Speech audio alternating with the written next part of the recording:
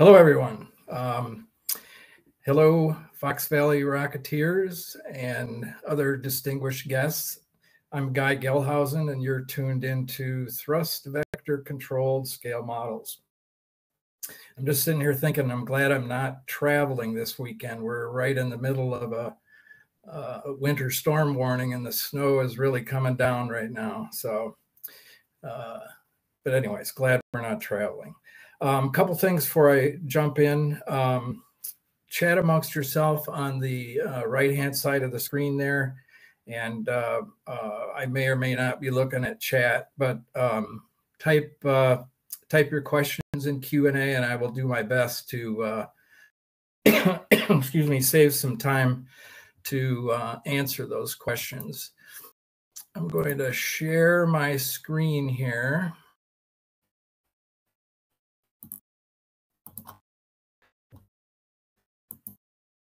All right. So I was asked to uh, give a talk about um, my uh, Delta 4 heavy scale model entrant that was uh, thrust vector controlled. Uh, it was my uh, NARAM entrant uh, in sports scale competition this past summer. Um, I'll try to cover, um, this is it actually on flight day. Um, I'll try to cover uh, how and why this particular model was selected and some of the other models I considered uh, other than this, this Delta. I also want to talk a little bit about uh, the thrust vector control system itself. I kind of ran out of time last year and didn't have a much of a chance to uh, cover it. Um, and I also cover some of the trials and tribulations of uh, the testing of this rocket. Um, it is a very tail heavy rocket and it did not like to fly very well um, when I first started uh, boilerplate testing. And in fact, if I hadn't, I probably wouldn't be sitting here talking to you. Um, if I have time, I will try and cover uh, some of the design and construction techniques I used. Um, used about everything in my toolbox for this one.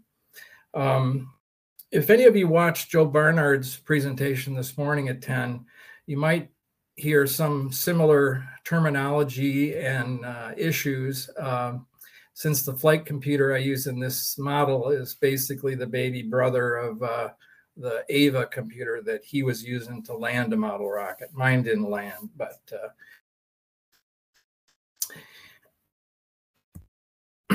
so I was one of those kids that was right in the heyday of the manned space program and the race to the moon and in the heyday of ESTES.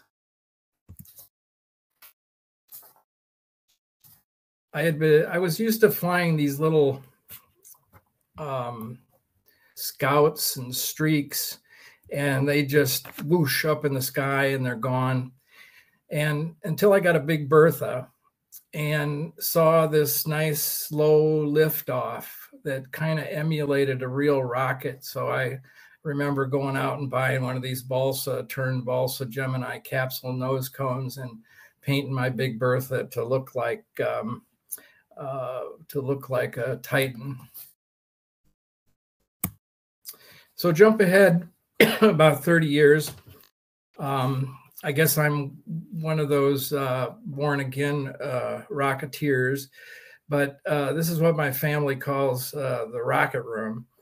And you can get a glimpse of uh, some of the models that I've done uh, over the years, lots of scale models, planes and, and rockets. Um, this few, photo is actually a few years old, and what's behind me is really quite different now. I've pr probably done hundreds of scale models. Uh, I really lost uh, count, to be honest with you. Um, from some of the classics I've done two or three times, just at different scales Redstones, Atlases, Saturns, Titans, Deltas, uh, ballistic missiles, uh, the current uh, heavy lift uh, boosters, even. But if you notice, something about all those rockets they all have um, they all have clear fins to fly aerodynamically. So uh, a few years ago, uh, I was attending our local NARCon, which is called NERCon. It's kind of a play on words for NI is Northern Illinois. But uh, Ed Chess gave a presentation about uh, competition rocketry and um, scale particularly. And at that time, I, I, had absolutely no idea what that was. Um, but um, I uh, left that meeting thinking, you know, maybe I can do that. Um, and then this is where some serendipity comes into play. Excuse me, just about that same time that I had decided to try my hand at competition rocketry, um, the uh, uh, this video uh, became viral, and most of you have probably seen it already. But it's uh, Joe Barnard's uh, Falcon Heavy, and um, it's worth playing again so you know. So you, if you haven't seen it, um, this this video completely enthralled me.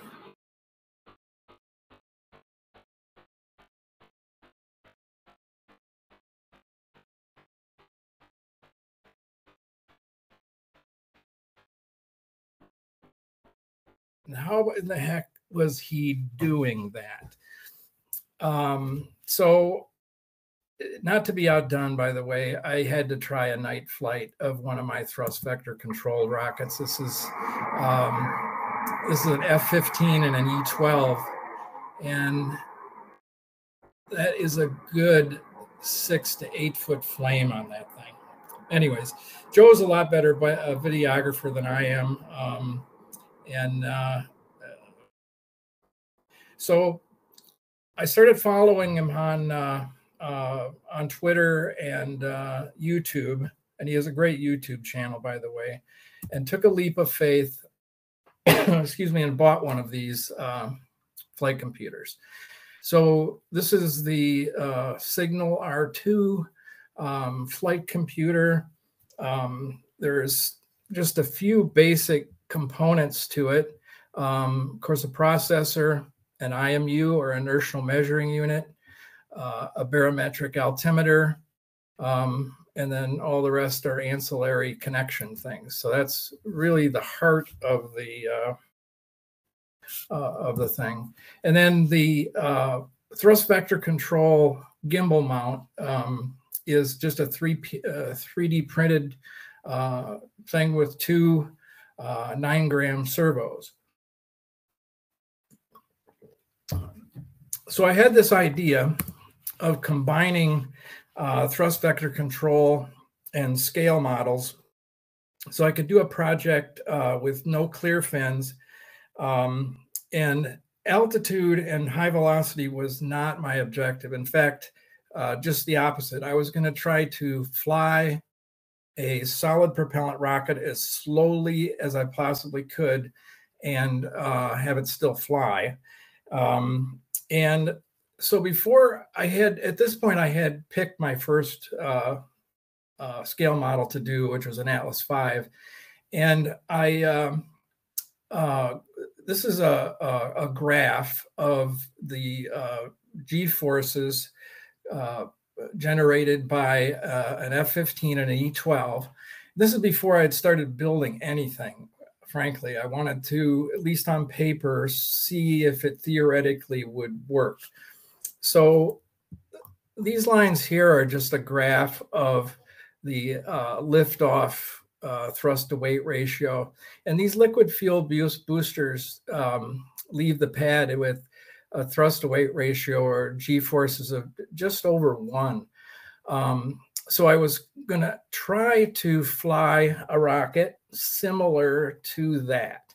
Um, now, if you know black powder motors, uh, they ha- have a big thrust spike at the beginning, which uh, by design, and uh, turns out you actually really need those. You need to get the rocket moving and then uh, bleed off that uh, momentum, and so it keeps flying at just uh, at a, g forces just over one. Excuse me. This is um, actually some of the actual flight data that I uh, uh, graphed. Um, it turned out to be quite similar to the predicted. Um, so, uh, so as you know, it worked. So,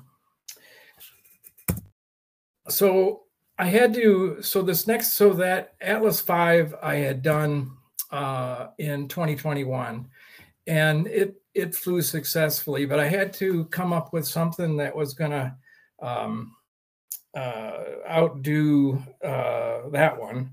Um, and I had I built uh, oh, there's a video there. Sorry, here's a video of it launching. Hopefully, those videos are not too glitchy. This is a internet-based system, so they can be a little uh, jumpy or glitchy.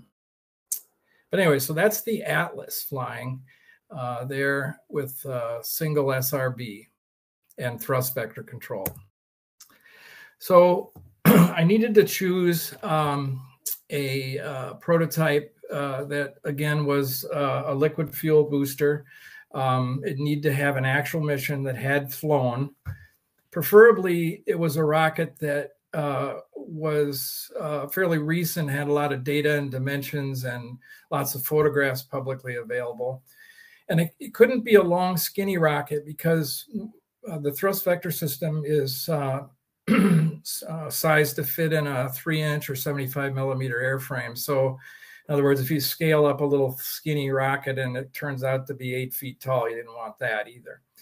And I was also looking for a rocket with an interesting backstory, and and probably most of all, it needed to look cool.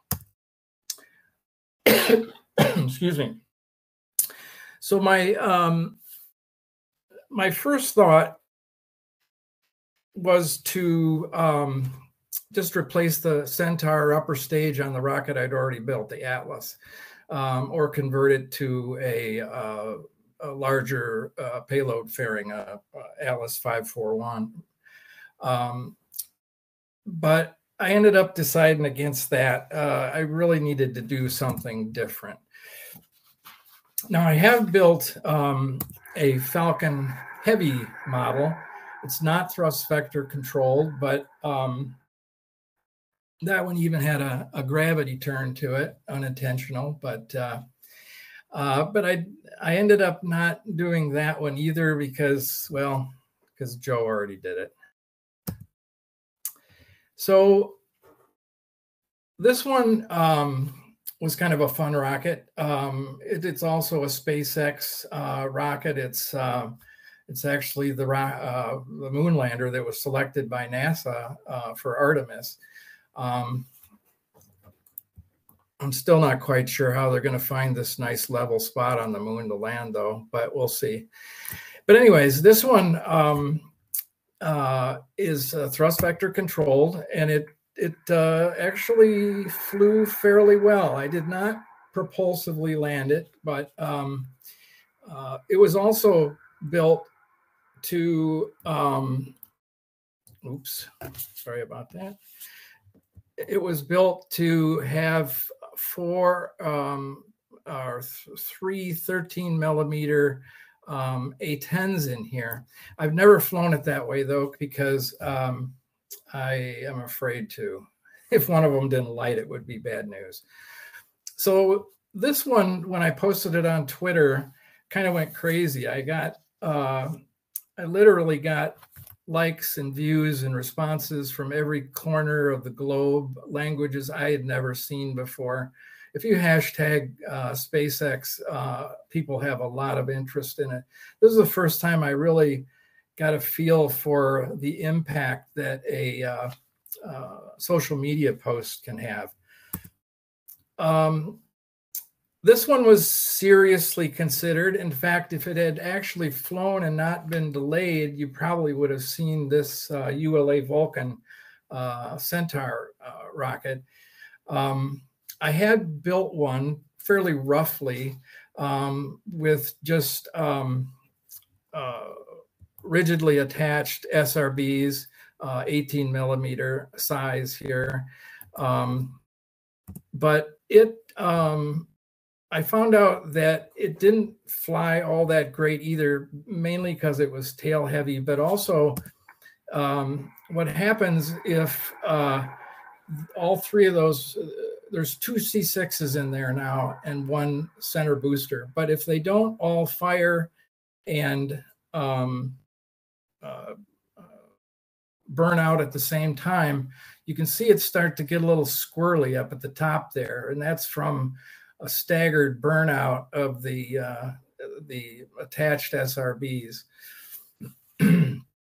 but anyways, it still hasn't flown, so I couldn't use it in competition. Um, you may see it yet. Um, this one um, is the, uh, of course, the SLS, which actually did just launch.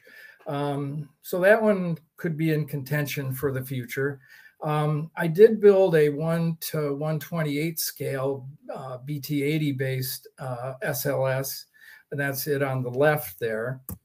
And uh, this is just a photograph of the model compared to the uh, uh, a, a 3D rendering. So you could see that one as well in the future.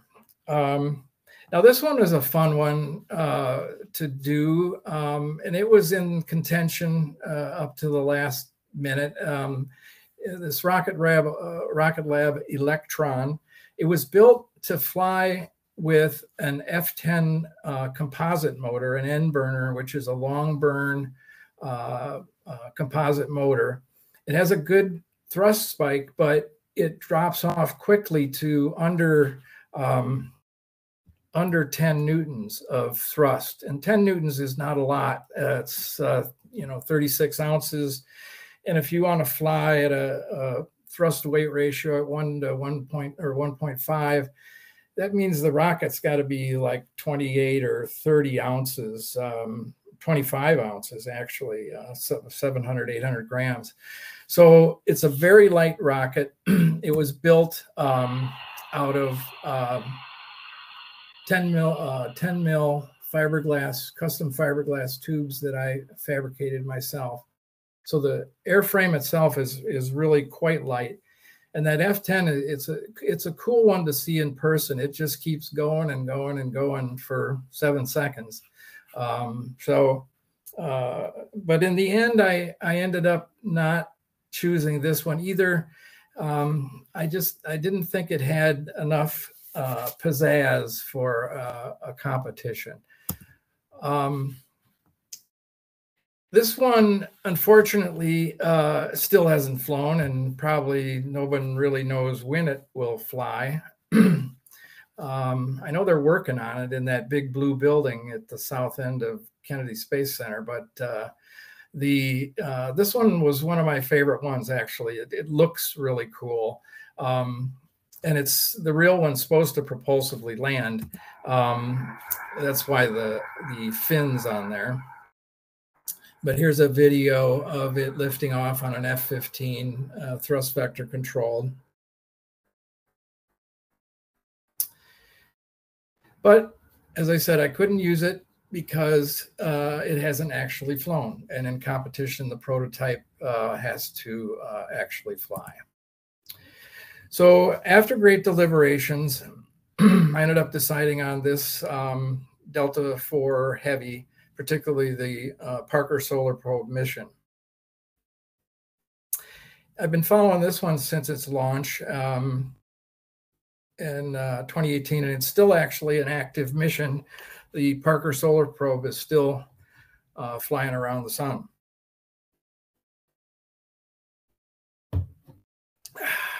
Okay, so I want to talk a little bit about thrust vector control system and some basics and um, a rocket uh, integration and how it integrates into the uh, rocket. So as I explained before, this is the flight computer itself. Those um, uh, these mounting rings here are made for a 74 mil, 75 millimeter uh, tube. And the um, gimbal unit uh, also made for that size tube. Um, this is one happens to be printed in PLA plastic. I've um, and this is how it lays out in in a rocket typically. Um, the thrust vector gimbal unit is obviously near the flamey end, and the uh, flight computer is somewhere uh, just above it. It can it can be anywhere from here up to the nose cone if it needs to be. Um, this gimbal unit is a is a reprint. Um, generally, when these things crash, uh, a three pound rocket comes down pretty hard, and they take uh, most of the brunt of the uh, of the fall. So this one happens to be a uh, an ABS white ABS uh, reprint.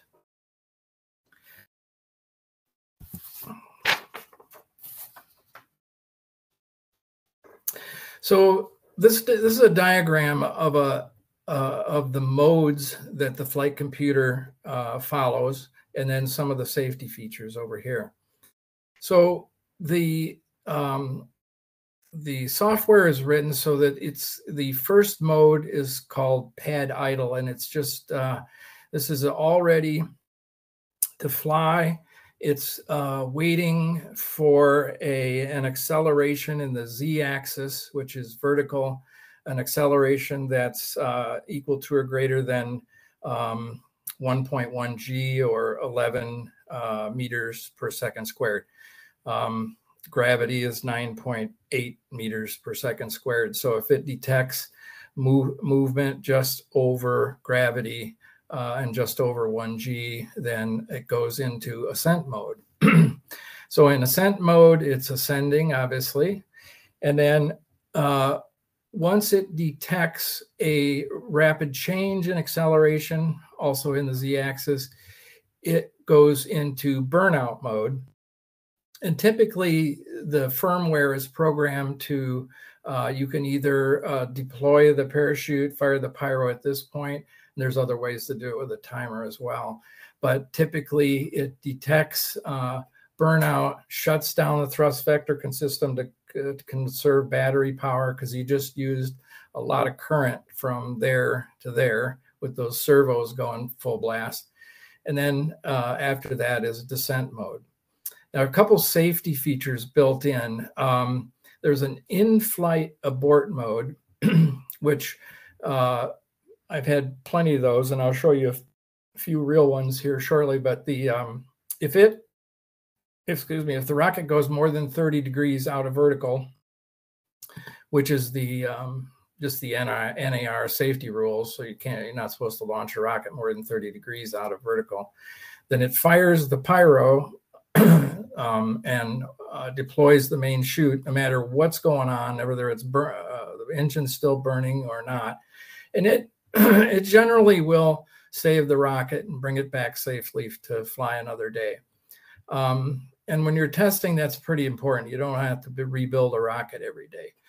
Um, another safety feature that I uh, use as well is uh, I use a one of the other discrete pyro channels to um, include a second pyro if this here doesn't happen and the uh, main pyro does not fire and it just keeps on falling at uh, it's set i have it set for 30 meters or about 100 feet to fire this backup pyro and a chute will come out and um, hopefully save the rocket as long as that parachute deploys uh, before it hits the ground. So anyway so that's kind of the modes and um, safety modes of the rocket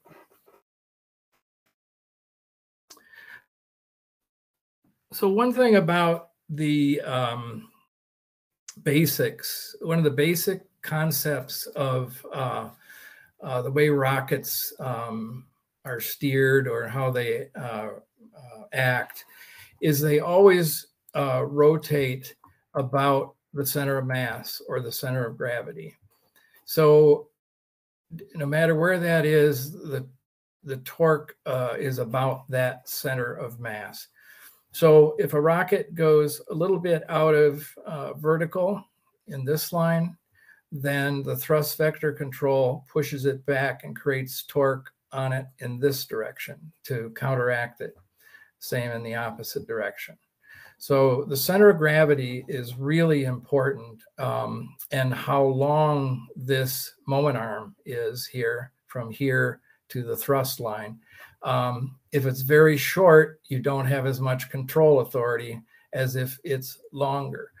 So in an aerodynamic rocket, we're always trying to get the center of gravity forward of the uh, center of pressure, but this is a little bit different way of thinking. It has to do more with the moment arm uh, and ability to uh, uh control the rocket.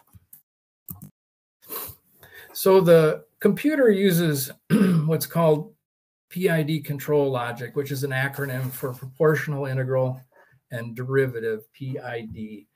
Um, and it's just a continuous control loop that sends commands back to the X and Y servos on the thing at 25 hertz or 25 times a second. It's trying to correct the error, um, and the error is how far the pointy end of the rocket is out of vertical. PID controllers are, and control logic is ubiquitous. It's um, it's all around you um, uh, in many devices. Uh, probably the most common uh, is an automobile uh, speed control or cruise control. And um, it uses obviously velocity or speed as the set point.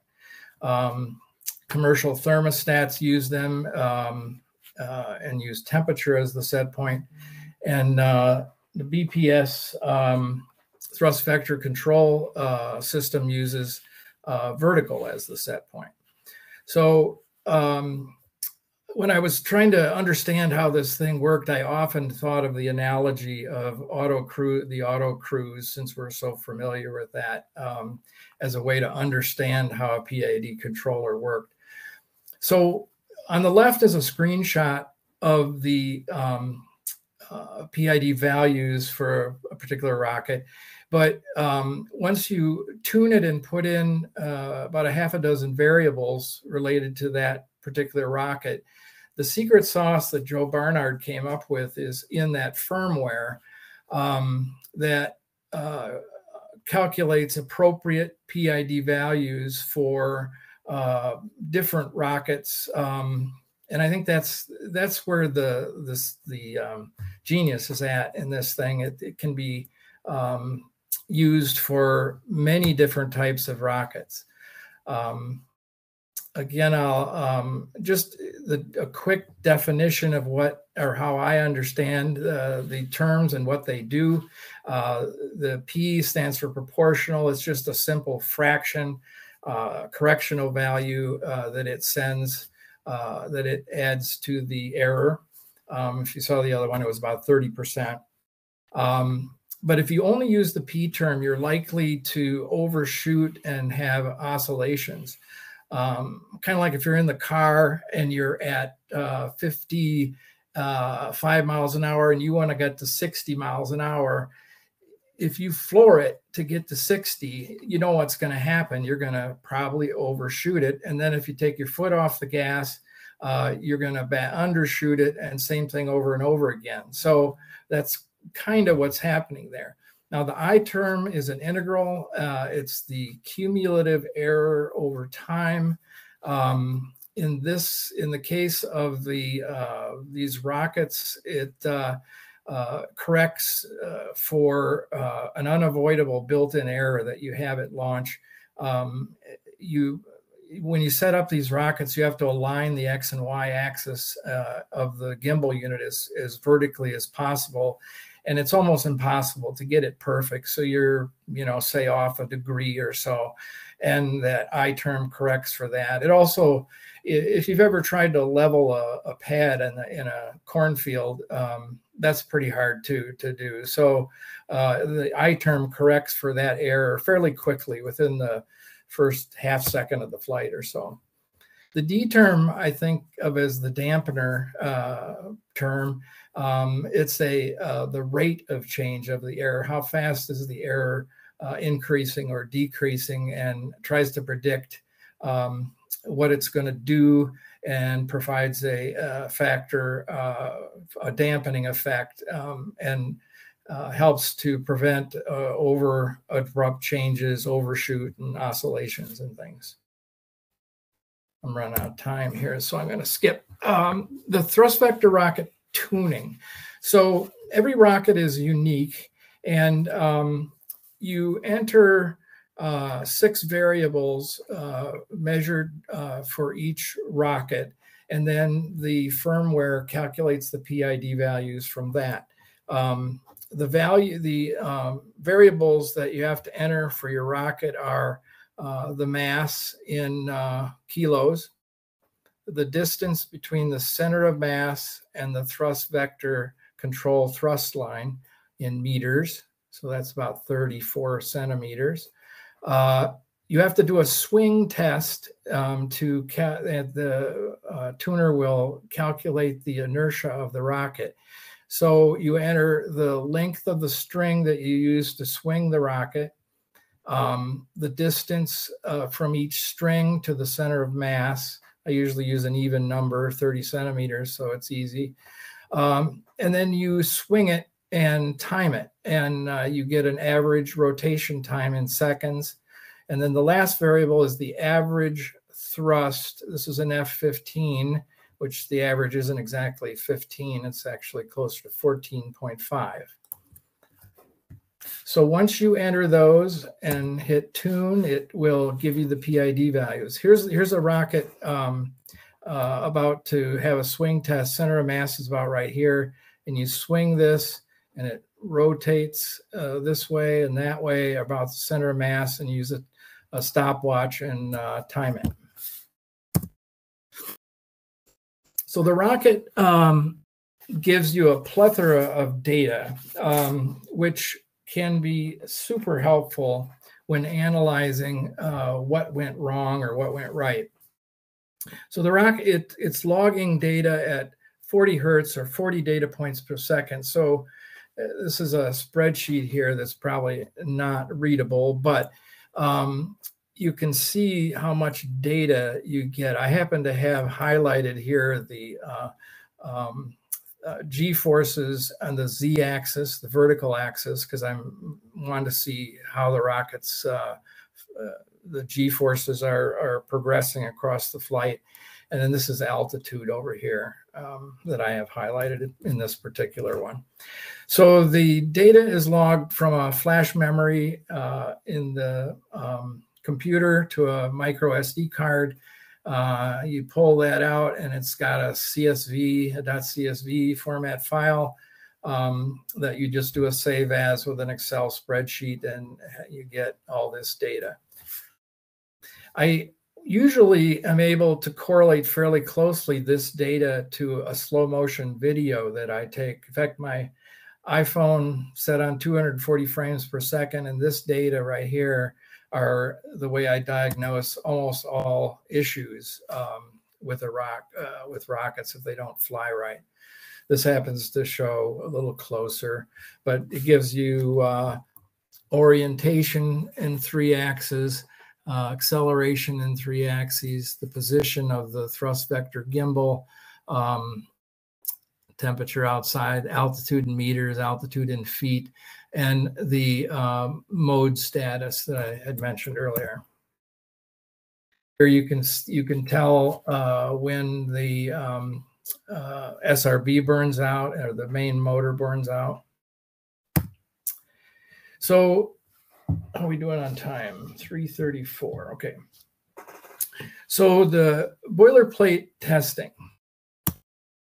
Um, I can't tell you how important test flying a boilerplate rocket and getting the bugs out of a scale model is before competition day.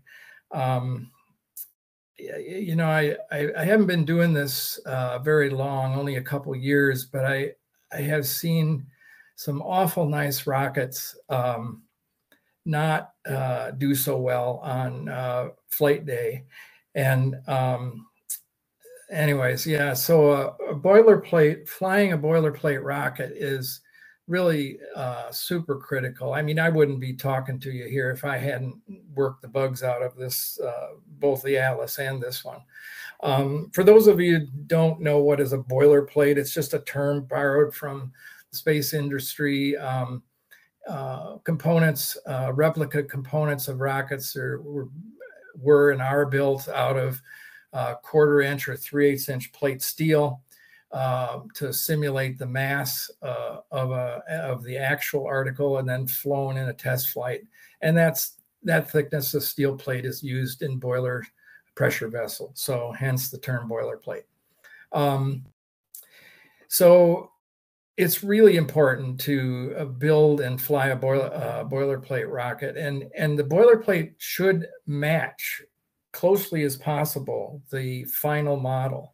Um, it's one thing to say you flew a boilerplate; it's another if it, it doesn't match the mass and the location of the center of mass um, to the competition rocket.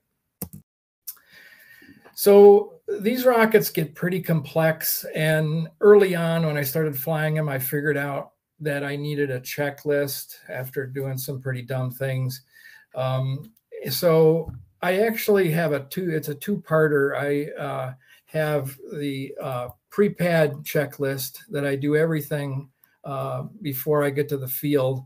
And then a number of things that I recheck uh, out in the field because uh, just about anything can happen. Uh, I mean, I've had pyros, lows, continuity, um, you name it. Uh, it can happen in the car on the way to the uh, launch pad. But anyways, on competition flight, the only thing you want to be faced with is your own dumb pilot error on that day. Um, so uh, you, uh, so if you can get all the errors or problems out of it, and then, and when it gets to that day, the only thing that you got to do right is uh, pack the parachutes and hook up the uh, initiators. And as uh, the man Gene Kranz said, failure is not an option. So I'm going to show you about um, six or eight test flights here and some of the things that happened uh, in the meantime.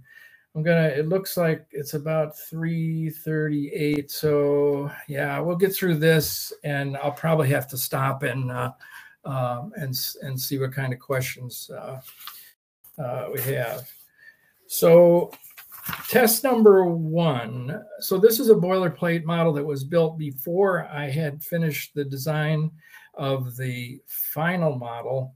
And so some of the positioning uh, of uh, uh, of the computer and things like that, and the battery and the center of mass were not as close to the final model as um, the Block Two, um, which I'll show you here shortly. But um, but Block One um, flew fairly well, at least proof of concept that um, we had enough. Uh, uh, horsepower to with an F15 and two D12s to uh, get it flying.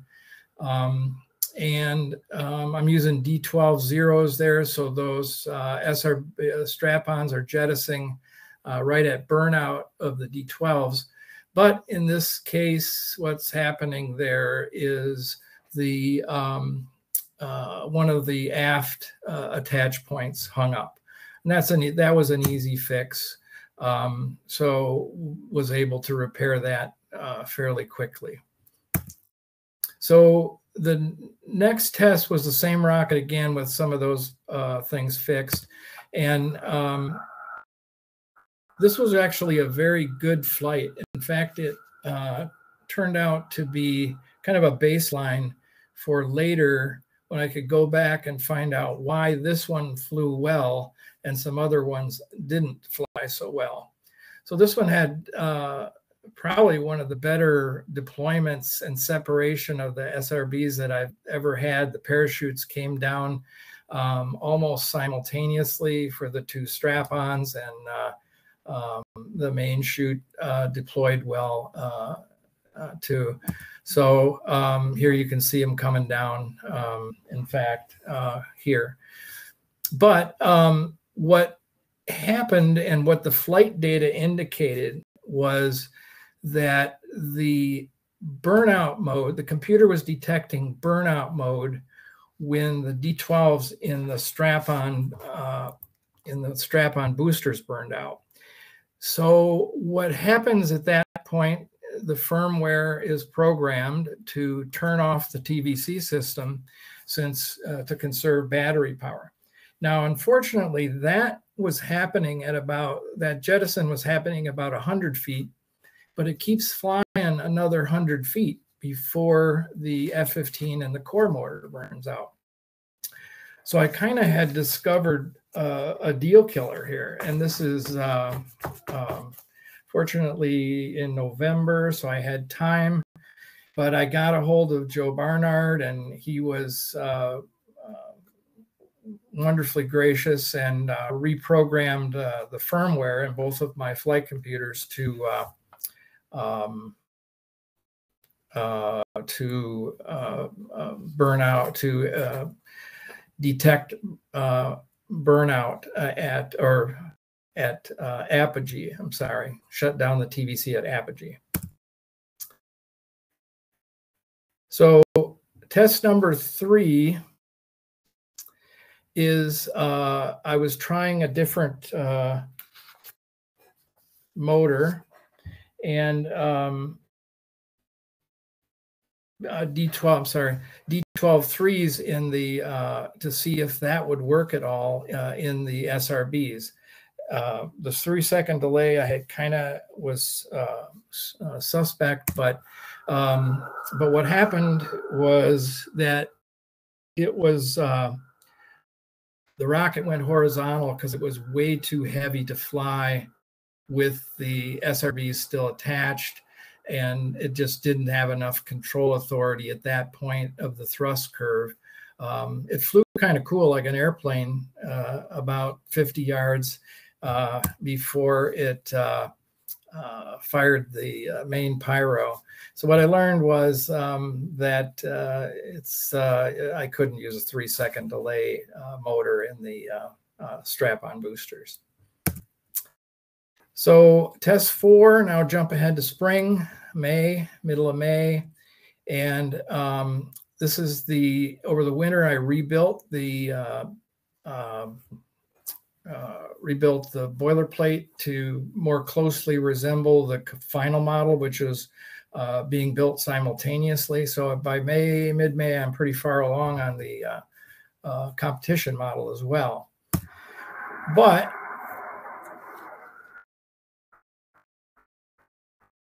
it was not a good flight.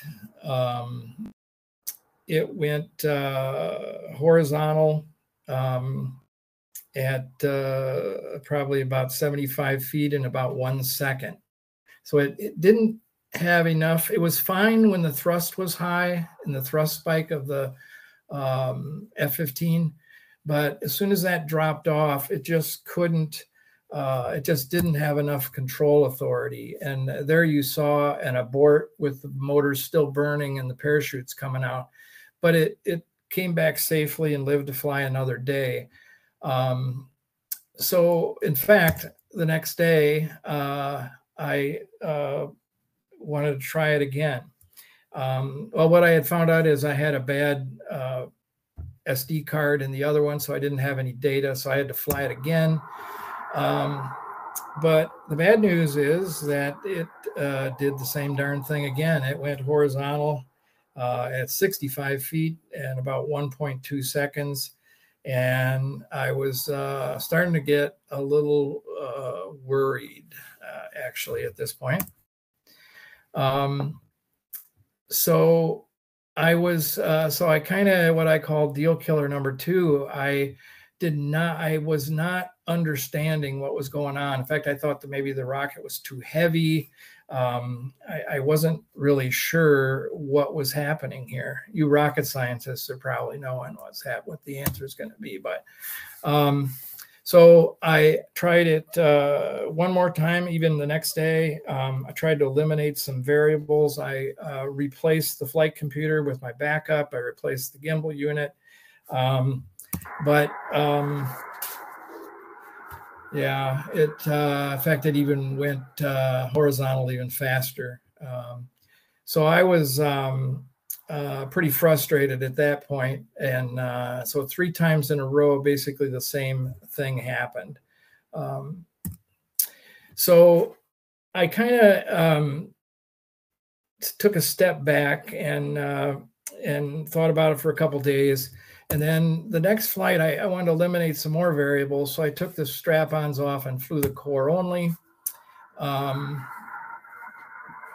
and it flew better for a while, but as the uh, thrust tapered off on the F-15, it lost control authority. I turned off the abort mode here, by the way, so I could see how it flew. And uh, it's flying horizontal. So, uh, so I was um, uh, pretty uh, I don't want to say upset, but I was not real happy at this point because I wasn't sure what was going on. So I, I just literally stopped and took a short break and got away from it and went to analyze. Oh, I had flight data now from three bad flights and um, or two, uh, two bad flights anyways and all the physical attributes of block one and block two boilerplates what was the difference between them so I, I literally compared every physical aspect and measurement of the two models um, and uh, flight data uh, together. And I the the main difference was that the the distance between the center of mass and the thrust vector thrust line was much longer in the uh, first uh, block one, which flew well. So in other words, it had a much longer moment arm. Um, thrust being constant, uh, it was able to impart a much uh, larger moment or a turning moment on the uh, rocket. So this was a just a graph of three flights with data overlapping. Um, they all are similar enough that it, it wasn't the mo. I wasn't short on thrust, um, but I finally um, uh, let's see. So I so I had to um, dig deep back to my statics and dynamics class and my vector math and uh, um, figured out that it was simply the fact that the rocket with a very short moment arm here did not have nearly as much control authority as this one, which had a much longer moment arm, a difference of about 150 millimeters or six inches uh, in the two rockets. So with the same force applied, it's sort of like the idea a long wrench loosens and not better than a short wrench. Um, that's the best way I could describe it. So I moved everything as much as I could up into the payload fairing. And uh, that's the, the battery, the computer, the pyro section, the parachute. So everything that I could was up in this section. And it created kind of an odd um, nose cone, if we will. In fact, the nose cone was glued onto this tube um, because that's actually a, a smooth transition in the real rocket. So this whole section um, blew off, blows off. And I had to make sure that was going to work, which it did. So our, uh, flight test 10 um, with a new block 2B. Uh, I broke this down into two parts. There, there's the ascent here. So otherwise the video is too long. I'm going to have to wrap this up here in just a minute. So flew pretty well.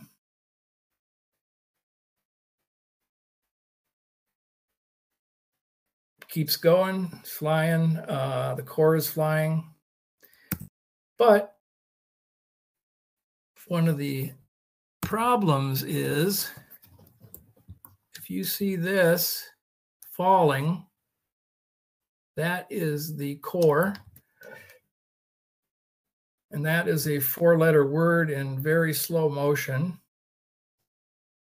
And that's my backup fired at 30 meters. Parachute comes out, about half that distance, but it saved the rocket to live another day. But what I discovered is that I had bad pyro channels on both my flight computers after ground testing them. So, so this is uh, June 10th, three, four weeks before we got to go to uh, Missouri. And I frantically got a hold of Joe Barnard, and he uh, again graciously sent me a replacement computer, overnighted it to me. Um, and uh, that was what was used uh, at NARAM. So this one, uh, I got a post, a nice, uh, a nice uh, response from Tory Bruno. Even uh, I got a, a nice, so I thought that was pretty good. Um, but one last test before NARAM, because uh, I, if this flies well, I pull the hardware literally and stick it in the competition model as it is, without touching it till it flies in July. So it flew pretty well. The only issue I uh, uh, determined a small small issue was the um, parachutes didn't deploy real well uh, on the strap-on boosters. So I built this model real quick and um, tested it, and uh, the rest is history. So that's uh, NARAM. Here we are at NARAM. And just one last video here, and we will wrap it up. So there it is flying. I, people asked me if I programmed in that roll. Um, I did not. It, the rocket had a tendency to, to go broadside into the wind. So it uh, did a nice roll there. So that is it. Um, what's next? I'm working on uh, a um, gimbal unit for smaller motors, uh, uh, 24 millimeter or 18 millimeter, and smaller tubes. So my ulterior motive is to make some smaller uh, SRBs or uh, model rockets. So I am going to stop sharing there and come back to this and uh, we've got some couple Q&A questions. Um, and I've only got about two minutes, unfortunately. So the first uh,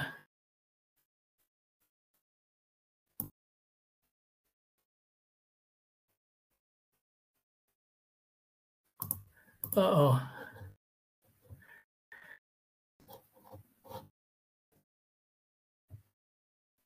Um, question is this won't move. I'm not sure why. Hmm. Uh, guy has taken the first in scale. Page is unresponsive.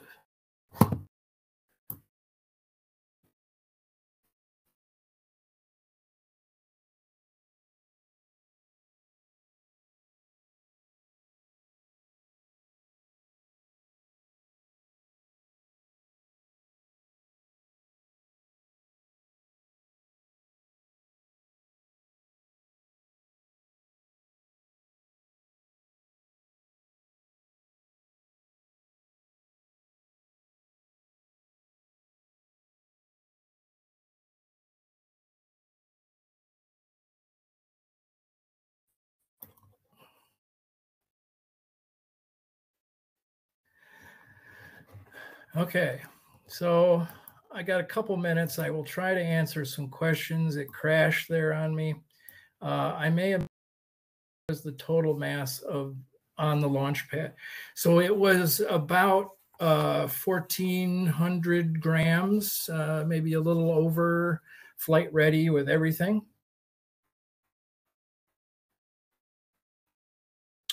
I am having some problems here with uh, that um, in this question answer. Uh,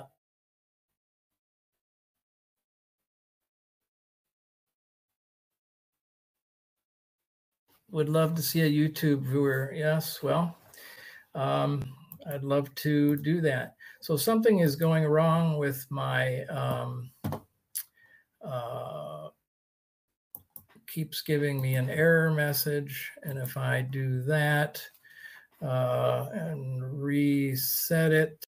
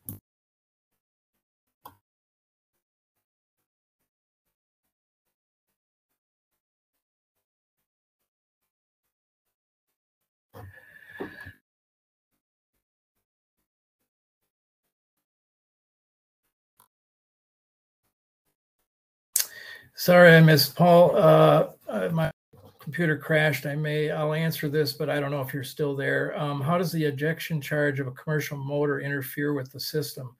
Um, well, there's two things I do. Uh, in competition, uh, I use a plugged casing uh, around the motor and just eject the motor uh, totally uh, with a parachute. And I don't, I use um, booster motors, but they still have a lot of uh, stuff coming through when the uh, uh, uh, they break through. Um, so in a non-competition flight, I plug them with epoxy. Robert, Guy has taken first in scale the past two NARAMs. Not bad for a rookie. Thanks, Bob. what level of control do you have over the PID gains? Um, they are uh, infinite from zero to one. So um, it seems BPS TVC has been sold out for a long time. Any insight on that? Yeah, I asked Joe about it today. He said he tried to uh, uh, hire someone to uh, manufacture them uh, and it didn't work out. There probably is some of it. I wouldn't be surprised if people have bought them and they're on eBay, uh, to be honest with you. Uh, Robert, how did your NARAM model place? It ended up in first place. Uh, love the rocket collection behind you. Thanks. Yes. So I think that's it. And I'm going to stop the broadcast.